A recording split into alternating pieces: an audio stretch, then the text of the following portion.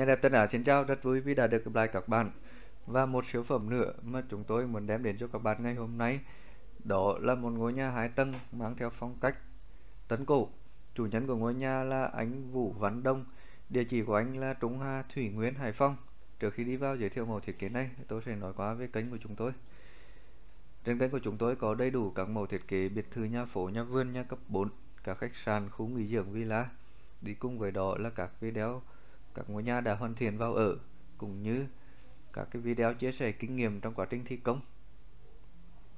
Đặc biệt là chúng tôi đang triển khai phân nội thất, vừa thiết kế vừa thi công đem đến cho khách hàng, một sản phẩm đẹp nhất, chất lượng nhất. Các bạn hãy vào youtube tìm kiếm nhà đẹp Tân Á, đăng ký với chuông để không bỏ lỡ video nào nhé các bạn.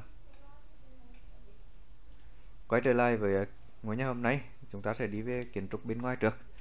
Về phần phối cảnh bên ngoài, các bạn thấy được, phía trước mắt các bạn, đó là một ngôi nhà hai tầng.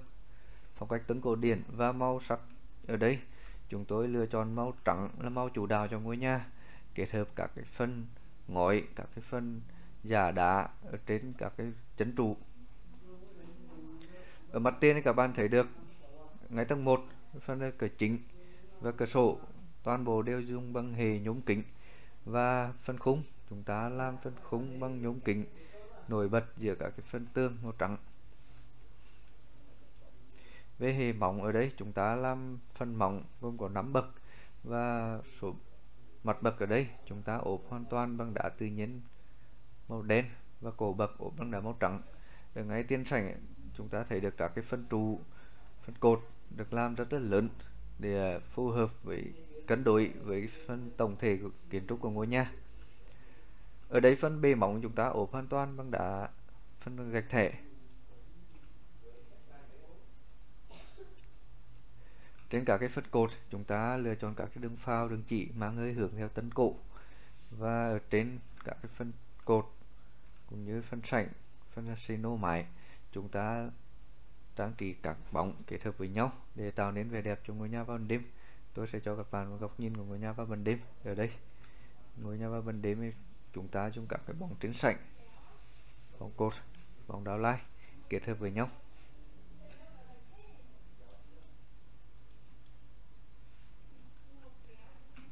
Các bạn đã để ý các cái đường phao, đường chỉ ở đây. Tức là làm rất là nhẹ nhàng tính tế, nó không quá cầu kỳ và diêm chùa các bạn thấy. Ngôi nhà theo hướng tấn cổ chúng ta không sử dụng phù điêu chỉ sử dụng các đường phao.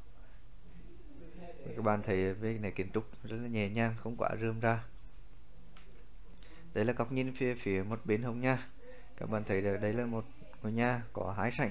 Và sảnh chính ra chúng ta có một phần sảnh phù phía bên.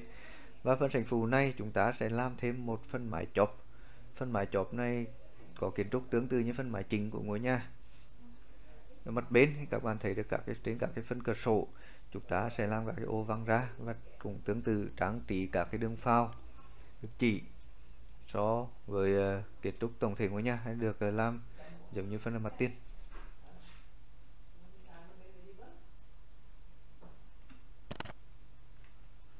đây là góc nhìn mặt bên của nhà vào đêm.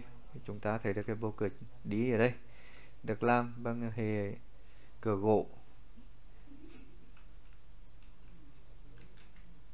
Đây là góc nhìn ngôi nhà có cả phân phối cảnh mái. Các bạn thấy được phân mái ở đây. Chúng ta sẽ làm bằng uh, hệ mái nhật và các cái đường ngói úp bơ cũng như đường các cái phân cột thu lối được làm uh, tinh tế rất là nổi bật.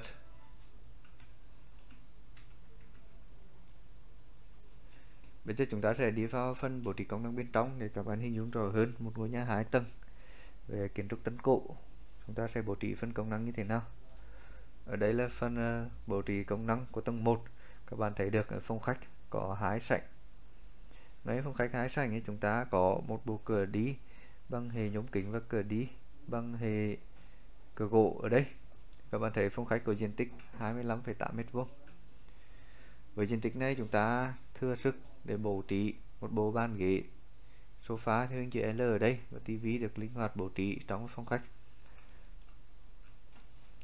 ở tầng 1 chúng ta có một phòng ngủ một phòng bếp ăn.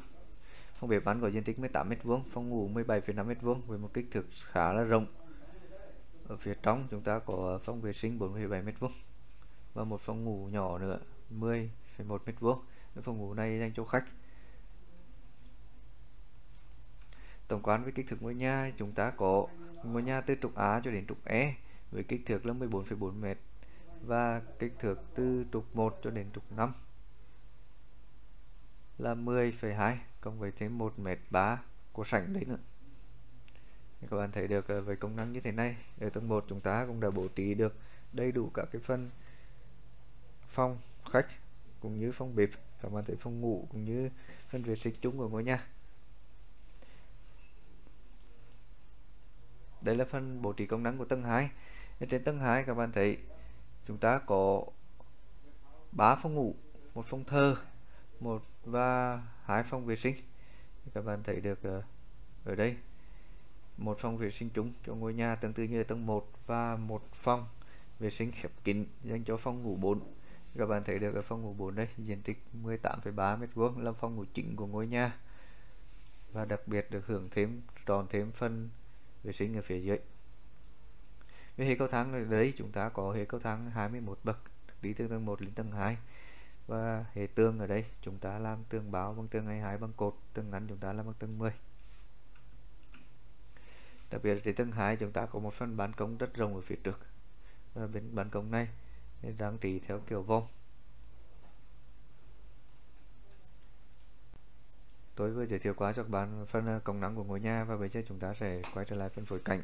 Để ngắm nhìn lại một lần nữa phần ờ, bố trí công năng các bạn thấy được ngôi nhà có kiến trúc rất là đẹp, nổi bật ở vùng thủy nguyên, hải phòng.